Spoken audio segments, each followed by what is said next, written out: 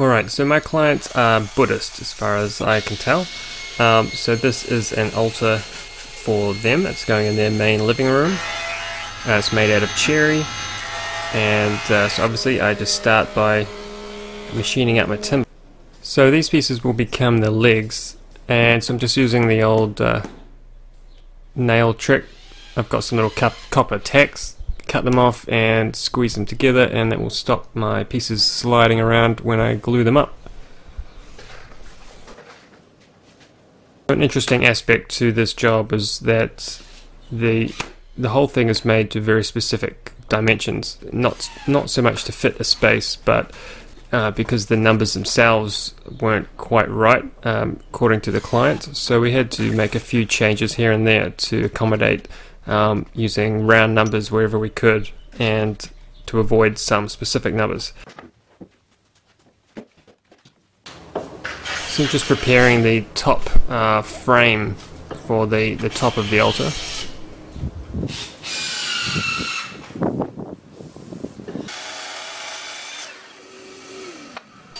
And this is cherry veneer on poplar core plywood.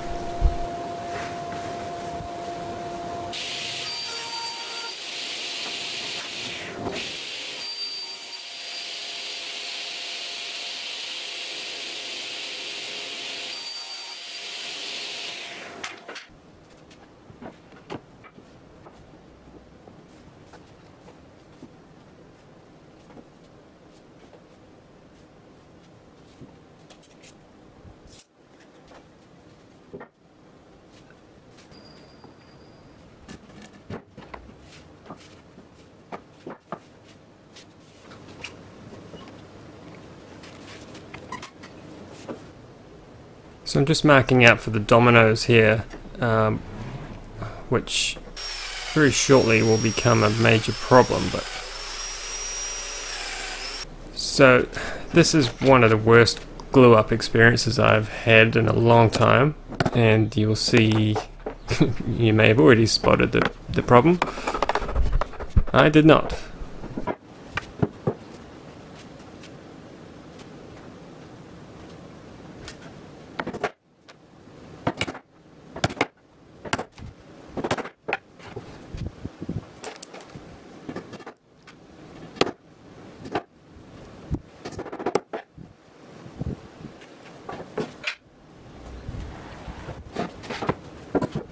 It was right about here that I realized uh, something, this just wasn't going to work. Uh, of course it wasn't going to work, I've, I know that, but yeah. Hmm. Well, shit. Didn't think about that. Um, so, seeing as I'm in the middle of a glue up,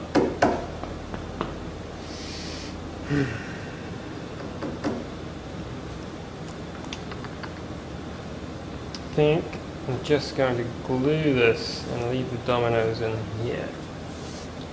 Oh, that's what you get for doing a glue up in the afternoon.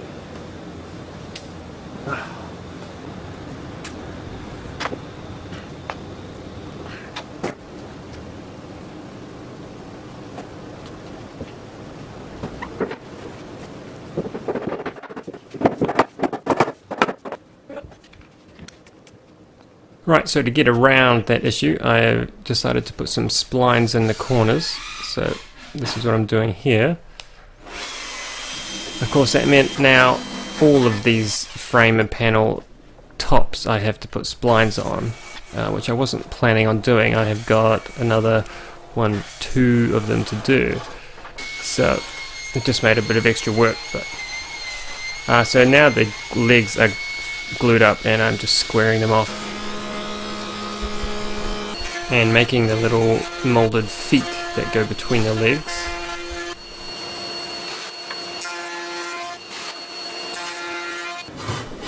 And I could smooth off the legs.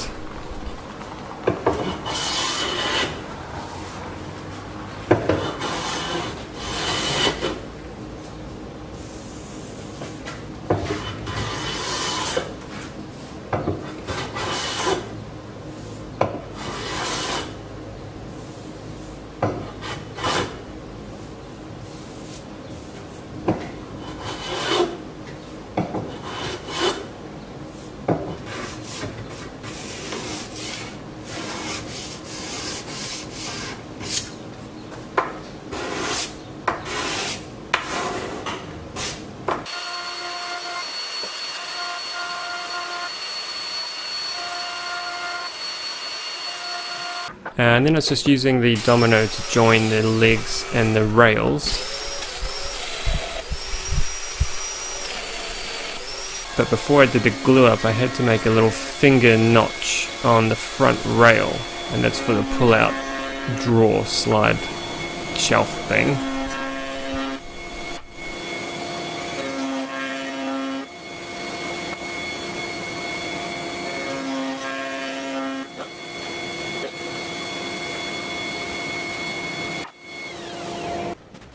And again, for some reason, a very simple glue up turned into an absolute nightmare. This one really got me. I was swearing and yelling and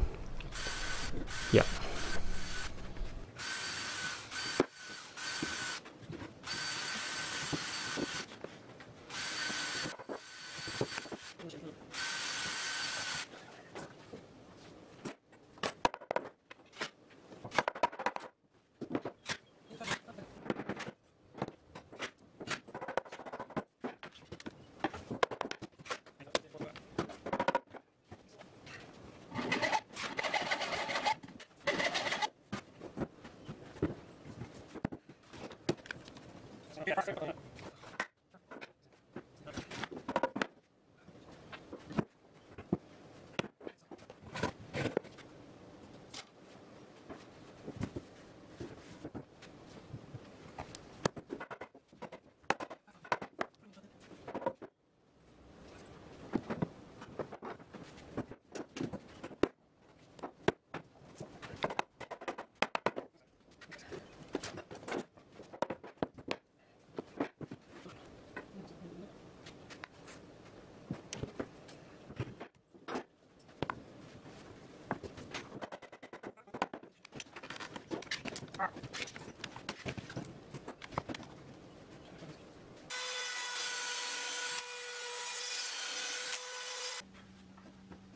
So this is the little foot that is connecting the two legs at the bottom uh, on the sides of the altar.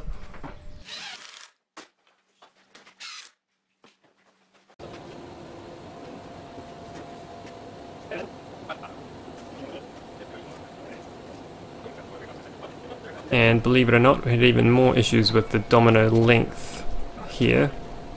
I think some of the problem was that these are uh, homemade dominoes and the lengths weren't all exactly the same.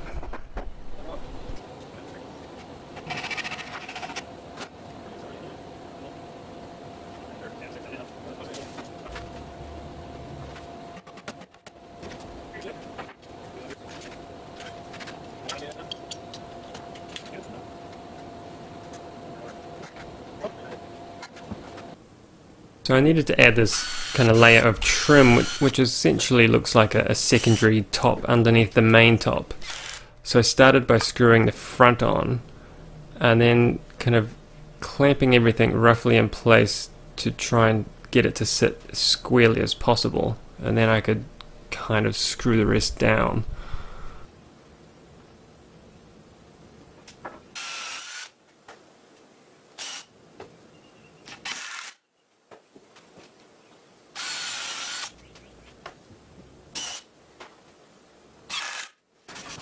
And I could clean up the top after the, uh, or the glue had dried.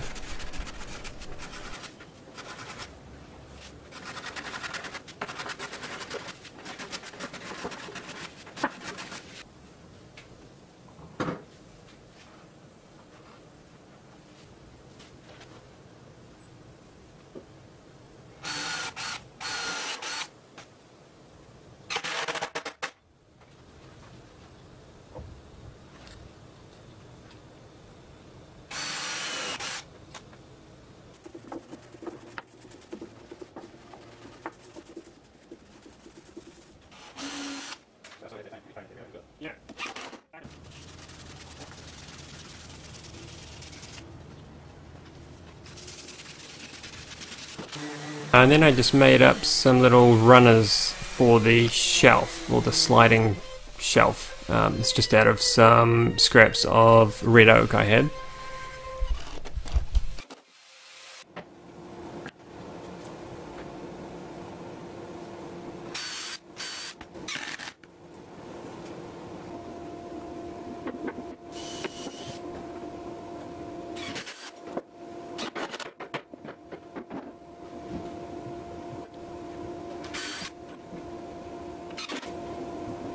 And the shelf seemed to fit, so that was good. So what I wanted to do is add a couple of little spaces here, little 3 mil spacer on the top back corners of the sliding shelf. And that way that piece would rub against the runner and not the finished show face.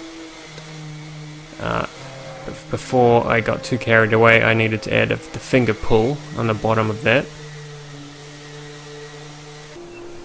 And I had to make some custom moldings for the top edges of the top. Um, it's a strange little detail, but the, the style calls for it. So I started by uh, getting, getting rid of a lot of the waste on the router, and then using my set of hollows and rounds to finish up the shape.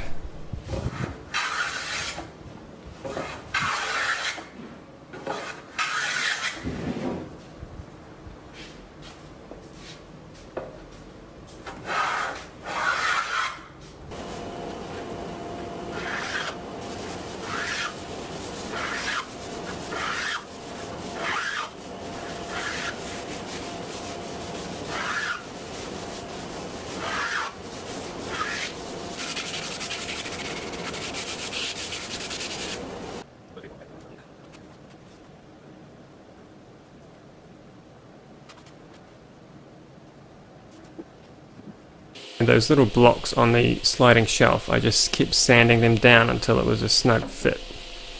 And ended up working really well.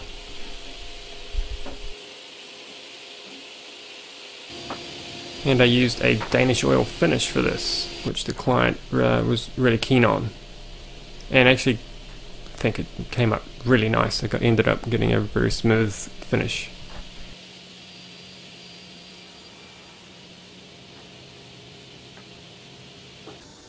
So I whipped up these little blocks on the CNC.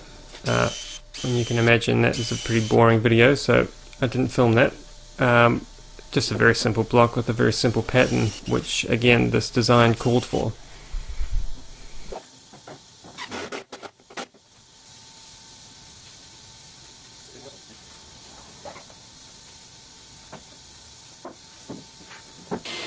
Then it was on to making this small cabinet that went underneath the main altar. So I started out by making some flutes on the front corners, and then that just got dominoed onto the plywood carcass.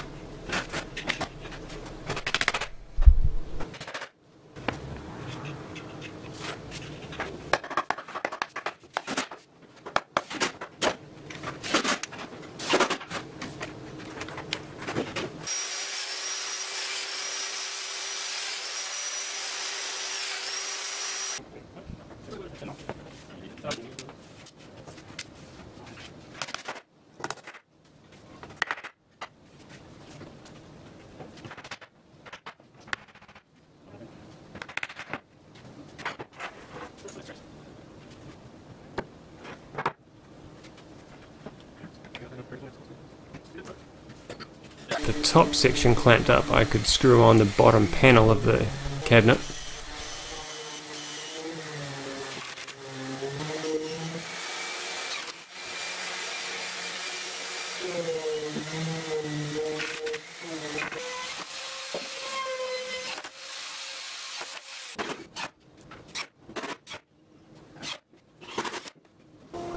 and attach the backing panel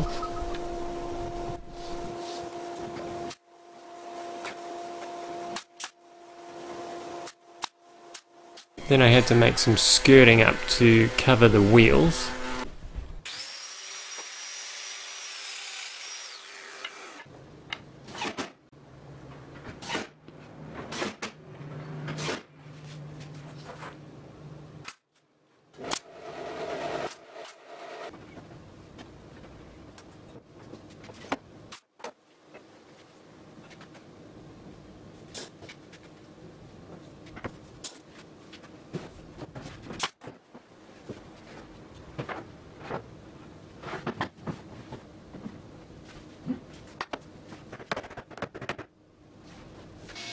And I threw together a couple of very simple frame and panel doors using uh, veneered plywood for the panel.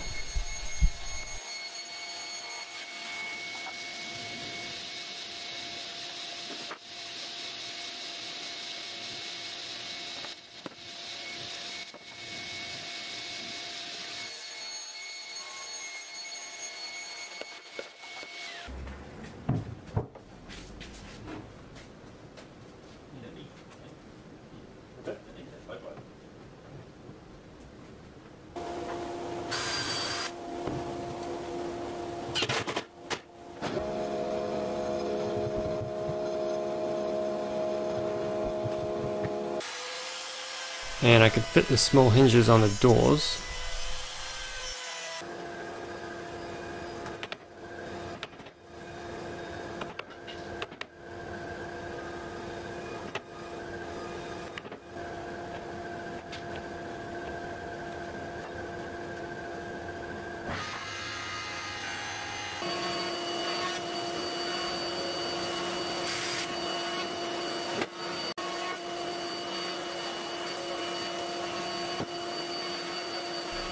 So my clients told me that they will use this altar uh, to help them remember family and friends and loved ones um, that are no longer with us and ancestors.